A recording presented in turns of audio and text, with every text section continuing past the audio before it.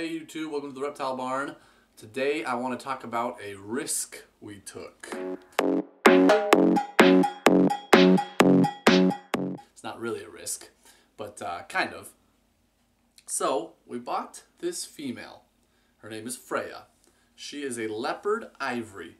Um, we have never managed to capture her true colors on camera, but uh, I promise she is a leopard ivory, not just a regular ivory. She is gorgeous. We love her. Her genetics are certain. She is a leopard ivory. The male that we bought specifically because we bought her is Onyx. He we purchased as a GHI Enchi Gravel. Okay?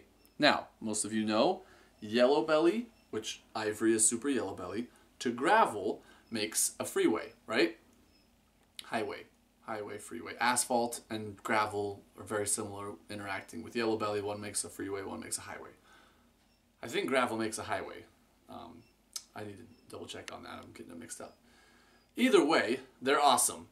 Super awesome snakes. Leopard highways and freeways are also super awesome. The fact that he is gravel, Enchi, and GHI and she is leopard means we could make some incredible highways, right? Really, really high-end snakes that are also just beautiful that we love, right? We would end up keeping the coolest ones anyway, not selling them. But uh, the breeder could not guarantee that he was gravel rather than yellow belly because it's basically impossible to tell the difference visually between a gravel and a yellow belly, even in tandem with other genes like GHI and Enchi. Um, the best he could do, which some of you are going to scoff at this, others of you might be okay with it, he, he, he was like, look, I've been breeding in the yellow belly complex for like 20 years. I, I'm pretty accurate telling between my gravels and my yellow bellies. That, you know, that was the best he could do. He couldn't guarantee it. Because you can't. You really can't. Um, but he just believed he developed an eye for it good enough that he thought it was probably a gravel. So we went ahead and bought the snake, right? Now, if it turns out he's a yellow belly and we make a bunch of ivories when we pair these two together, it will be a little bit disappointing. He's still an awesome snake though. Um, so anyways, I wanted to talk about that. From a, from a business perspective, it was a risk, right? He's worth a lot more money if he's gravel as opposed to yellow belly. The babies he can make with ivories are way more valuable if he's gravel as opposed to yellow belly. So uh, we took the risk. Uh, if, it, if it turns out that he is gravel, we are going to be just sky high, through the roof excited. Um, she is approaching breeding size. She's probably 400, 300 grams short. Um, so she'll be ready, I'm guessing, by the winter, no problem. Um, and he's he's obviously big enough to breed. We're not going to overtax him. We'll probably only put him to two or three females. It'll be his first year, but he'll be plenty big for breeding.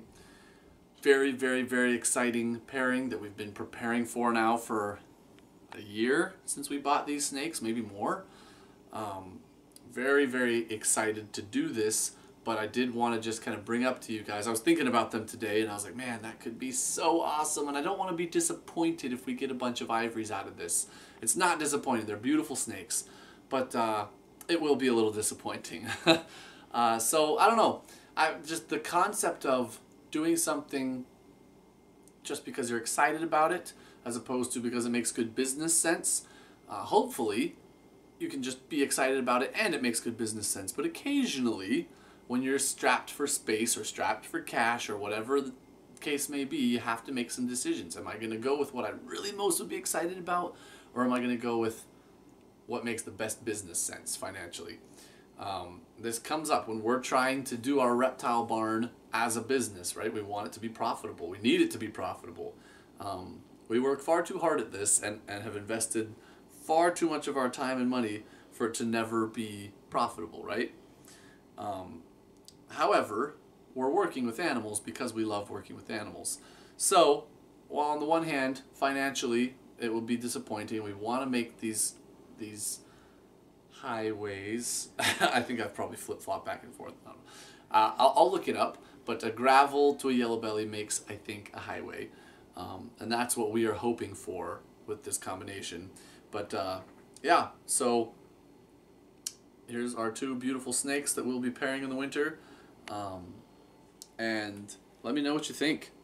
Uh, have any of you out there ever heard of a reasonable and accurate way to identify a gravel as opposed to a yellow belly? I have never come across anyone who said that this is the marker. This means it's yellow belly, this means it's gravel. I've never heard somebody who has said that. I've heard a few people who have a bunch of them in their collection who've been able to say, man, when I get a clutch, they just tend to be a little bit more like this or a little bit more like that, depending on which gene they are. And so I kind of get a, a basic idea for which one's which, but again, with no guarantees, as the breeder that we bought from said. So, thank you for watching. We are excited to see what happens between these two. Uh, hopefully she goes for us in her first year, otherwise we'll be waiting another year of suspense to prove him out. But uh, it'll be worth the wait. Even even if he is a yellow belly, they will still make spectacular babies and we'll be very happy. So thank you for watching. Until next time, we're the Reptile Barn.